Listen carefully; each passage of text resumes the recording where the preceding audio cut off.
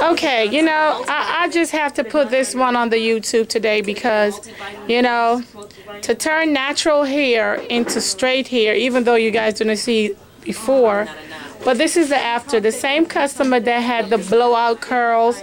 So, guys can see she got it straightened out this time.